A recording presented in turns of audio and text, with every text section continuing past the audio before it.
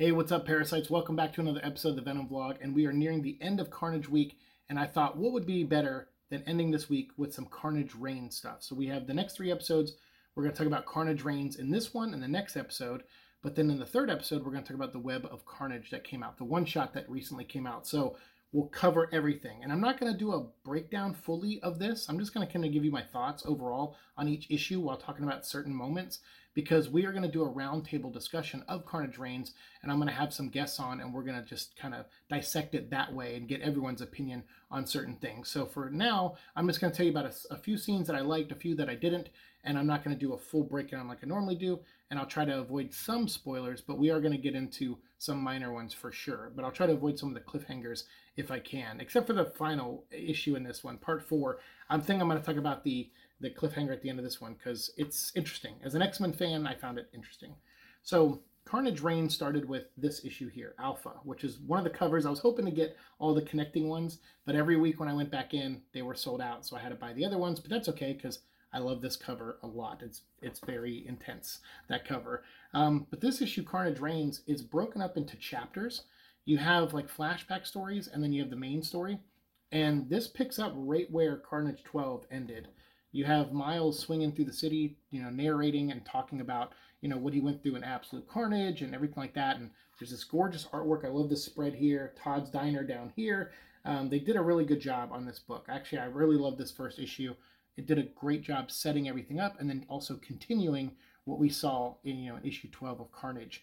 So um, with this, Miles is like, look, this guy is the worst. Carnage is you know, like I'm scared. I really legitimately am scared. My parents are moving into a new apartment right now because this villain named Rubble, I think, or someone, or they uh, they destroyed you know Miles's former apartment when they went looking for his family to kill them.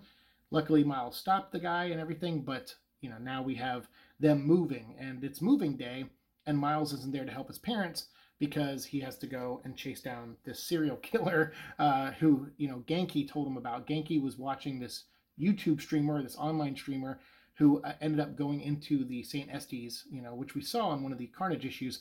So that was cool that that was tied to that. And Ganke was a fan of that guy on online and on YouTube, and that guy went missing.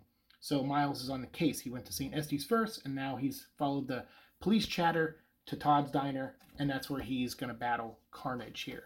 And when he goes in, everything seems normal, and you know, but of course, nothing's ever normal now that you have a Carnage Cletus hybrid that has an Iron Man suit and an arc reactor in him.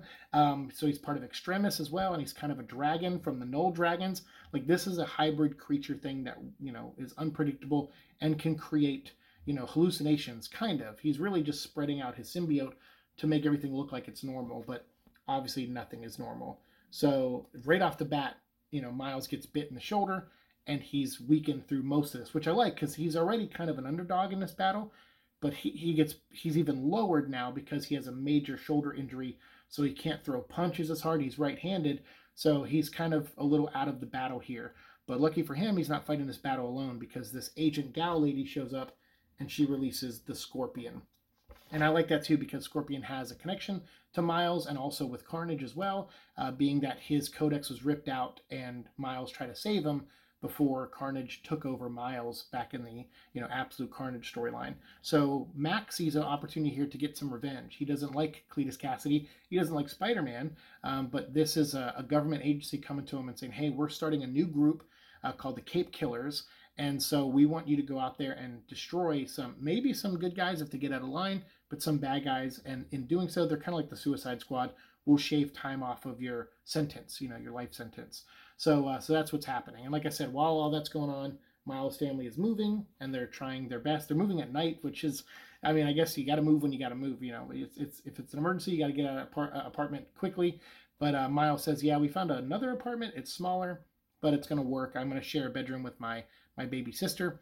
So, uh, so that'll probably cause some fun drama in his main book. Who I think Cody's doing a great job in the main Miles book. I have been reading it. I didn't want to cover it on here because it didn't fully set up anything Carnage Reigns wise, but it's still a really good book, and I highly recommend you go check it out. I think Cody's doing a really good job, and so is the art team on that book.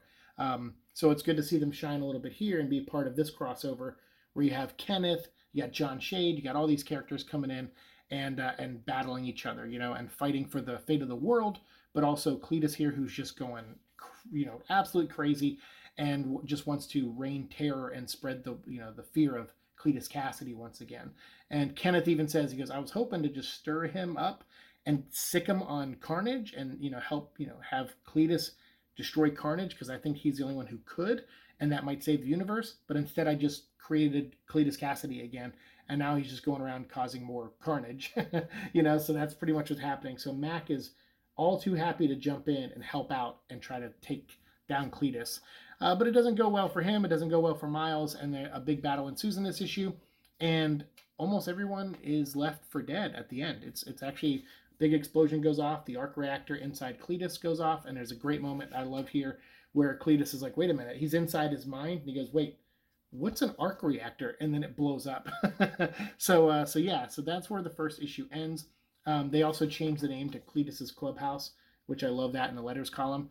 Um, but here they have these flashback stories. You see how Scorpion gets you know recruited into this team by Gal, so that's a cool little backup story that I don't want to spoil too much of, but has some great moments in there. And and Mac is a character that I like. I like Mac Gargan. He's just a neat character. Not always has you know have they done cool stuff with him, but I didn't mind him too much as Venom, although it was like a very different take on Venom. But that's kind of the point. Um, but him being this like crying, sniveling worm that the suit was like constantly intimidating and, and bullying. I kind of like that take. I thought it was scary. It added to, like some fear moments in that way. Uh, but then ever since Mac has kind of been back as Scorpion over the last couple years, I felt like him stepping up and doing things has been fun. And him doing this, you know, being part of this kind of Suicide Squad team, Cape Killers, is neat too. I like it. So he's not really a good guy. He's just trying to shave time off of his life sentence. So I like that. Uh, and then meanwhile, there's a great flashback story also in this Alpha issue that talks about the first time Miles came back after Absolute Carnage when he was, you know, after he got the suit removed from him. And he's talking to his dad and he's like, This is the worst I've ever fought. This Carnage guy, he got in my head. He showed me how good it would feel if I use my powers to kill people. And I'm afraid I'm gonna I'm gonna do that one day. And his dad's like, No, no, no, you're my son. No monster gets to tell you who you are. You're my son. And you're gonna be just like me. He's like, I save lives, you save lives. Your mother saves lives. You know, he's like, so that's who you are. So I really dug that. I thought that was a cool short story as well.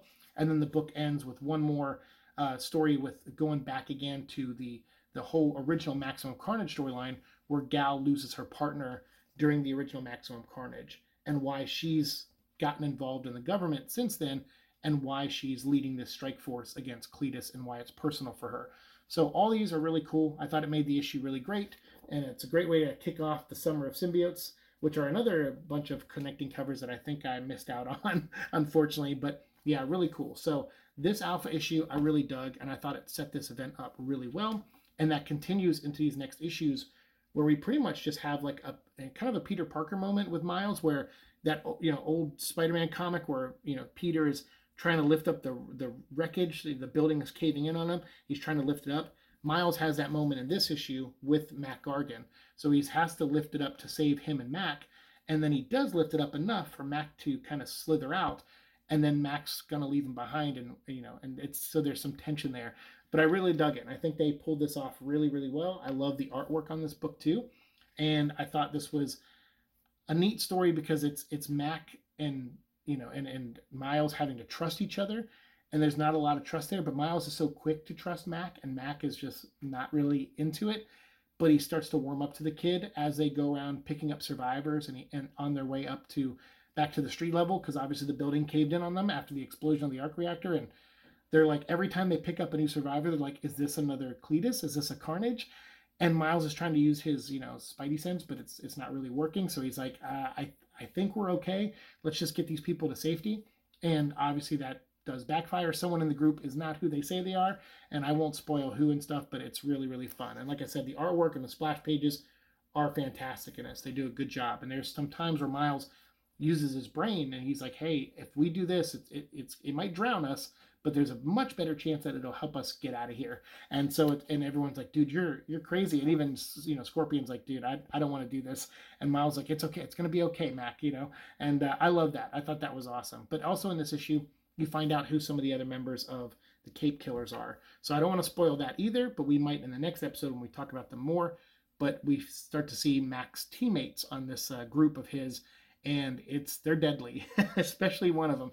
Very deadly. So uh, so yeah, so that's where that issue ends. as the new team shows up, and it goes into Carnage number thirteen here. So we had Miles number six there, Carnage thirteen here, and it's going to end in Red Goblin number five. But in this one, we have Carnage and Kenneth, or Cletus and Kenneth. It's a big issue focusing on them, while still peppering in the Miles stuff and the Scorpion stuff.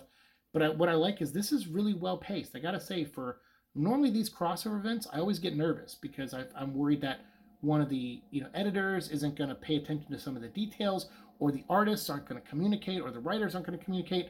But i feel like this book has a lot of communication in it i, I feel at least. Um, and it's it shows in the in the execution.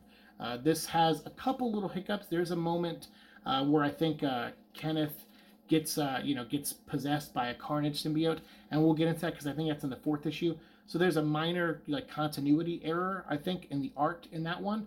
But otherwise, the book is is pretty good as far as that kind of stuff goes. Because I know I always nitpick and harp on that stuff, but I thought they did a good job in this. So in this issue, Cletus, uh, now that he's licking his wounds, the arc reactor is cracked. It exploded, but it could go off again. It you know could be a, a numerous you know bombs kind of going off in him. So he needs it fixed. So he goes to Stark Enterprises and he takes Kenneth with him and they go they break in and they're like where's tony stark? He needs to fix me. And they're like tony stark doesn't run this business anymore. It's it's a new guy that runs it and tony's like out there you know being iron man doing other things. So he doesn't run this company anymore. And so cletus like fine. So you nerds are going to help me.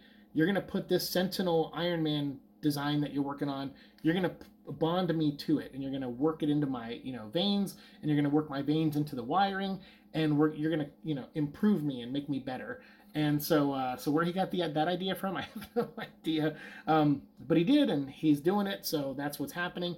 But while he's under, you know, getting operated on, he needs someone to watch his back, and he doesn't really trust Kenneth. So he gives Kenneth a symbiote with some gear that's lying around the Stark Tech office. But and Kenneth gets all excited. He's like, "Yay! Finally, I'm going to have a power, and maybe I can do some. You know, I can go stop Carnage or something."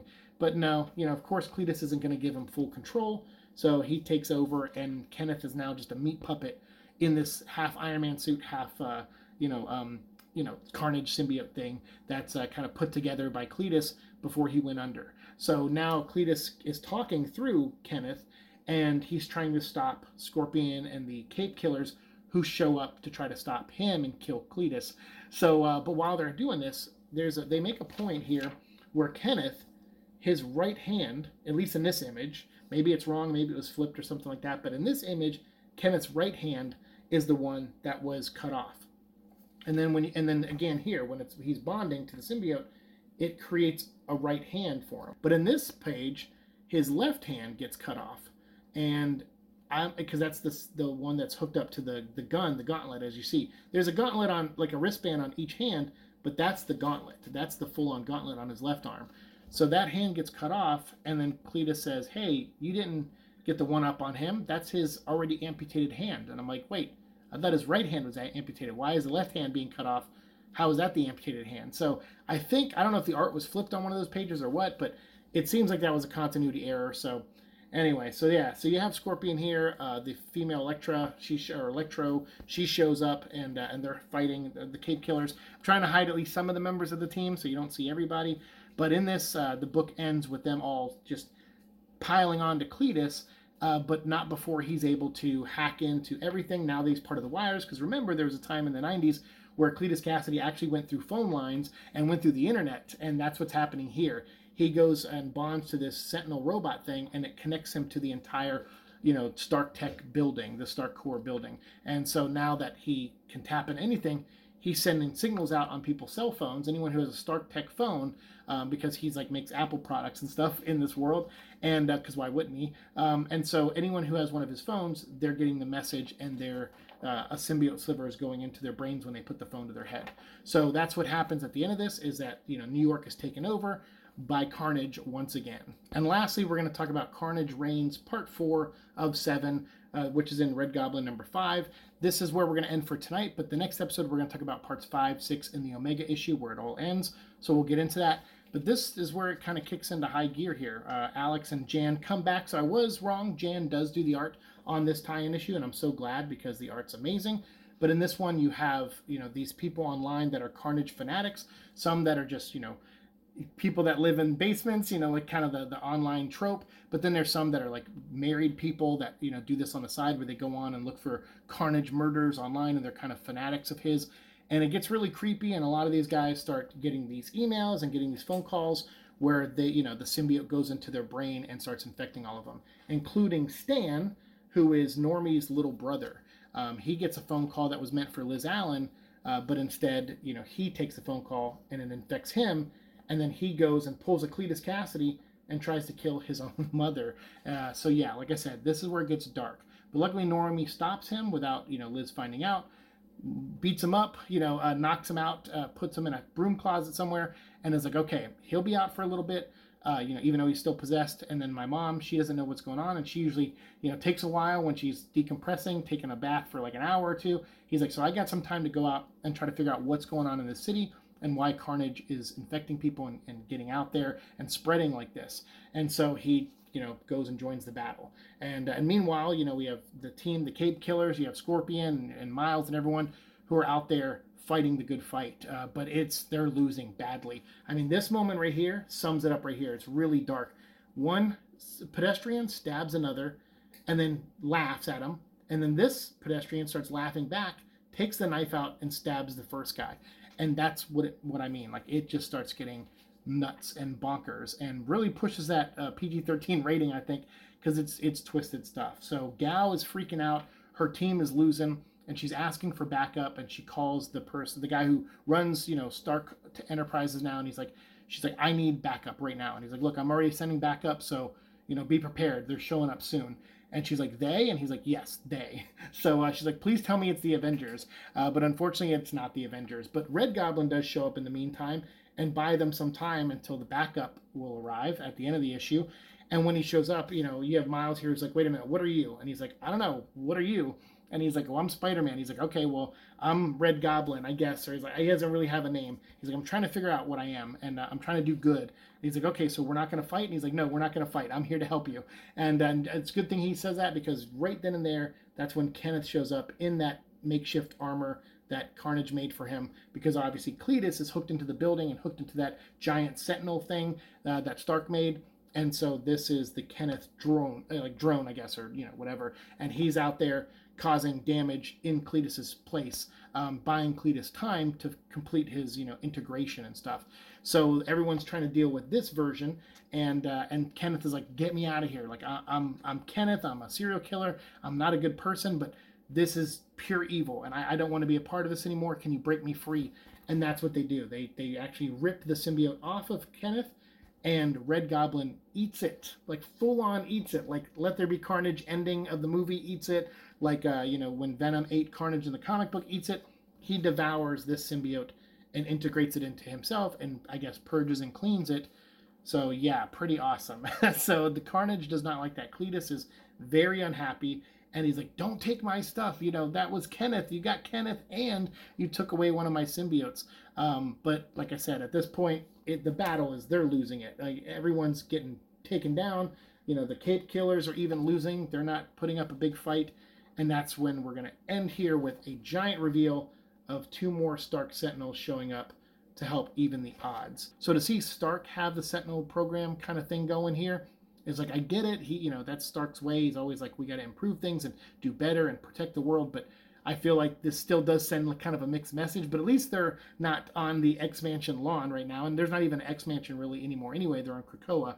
So I guess maybe Sentinels are something a little different now that they've kind of retconned and rewritten some of the X Men history. But for me, as an old school X Men fan, it's tough seeing the Sentinels being good guys. Uh, even though I did like that mini series, that, that Marvel Tsunami series called Sentinel, where it was a little boy who finds a Sentinel and has like a pet giant robot and stuff. I like that series enough, but um, yeah, I mean Sentinels to me, it's like they're they're autonomous robots. You know, they're they're good bad guys to you know beat up on for the X Men in between bigger storylines and stuff. Uh, so I don't know, uh, but seeing Stark One show up, blasting their way through, you know, we'll see if they're effective in the next episode. Uh, but anyway, let me know your thoughts. Uh, you know, of all this down below. I'd love to hear your thoughts. Whether you agree with me or disagree with me, because I'm really liking these four issues. I, I think there's a couple little nitpick stuff in there, a couple continuity things that I feel like are wrong, but maybe one of you can correct me if I, about the hand. Uh, but overall, like for since the last dozen or so, maybe not dozen, maybe like the last three or four major crossovers, like Dark Web and uh, Extreme Carnage, like I didn't really like a lot of those. I, I really didn't, and this I found refreshing. I actually do like it. I think Miles is the underdog here. And I think the Cape Killers, as cool as that is, um, even though it's kind of a derivative story of like a Suicide Squad type thing, but I, they're out of their league too, uh, surprisingly. And and this Cletus is unique, and I'm, I'm kind of digging on on this at least for right now. Um, so we'll see in the next episode if I if they stick the landing. But for this, I thought this was a good setup, and it, it brought all the characters in, and now we're at the halfway point, and I can't wait to see how it ends. So we'll talk about that the next episode for sure. And then after that, we'll do Web of Carnage, the one shot, and then that'll be it for Carnage Week. But then also check out my gaming channel. In the next day or two, I'm going to be uploading Carrion, which is a video game that came out a few years ago that I've been dying to play. And I finally got around to playing it and I recorded the whole thing, and I'm just going to put it up as one long, like three hour video, uh, including the DLC over on my gaming channel without my commentary and stuff because I think it just needs to be watched. Like it's so cool. Um, but I'll have some footage here so you can see a little bit of it here. But it's your it's kind of like the thing, uh, you know, and uh, and kind of that that uh, Venom storyline, the Venom tsunami story, where it, you know Venom breaks out in an Antarctic lab and, and starts killing everybody in the lab. That's kind of what this is. But it looks like a Carnage creature. It's really neat. It's and it keeps getting bigger the more it eats people, and you're just moving it around through the lab uh, trying to escape. And it's it's a really fun game. And so I have my full playthrough that'll be going up on the gaming channel very soon. So thank you so much for watching the show as always. I really do appreciate it. And again, let your comments be known down below, and we'll keep talking down there. Thanks so much. See you in the future. Peace.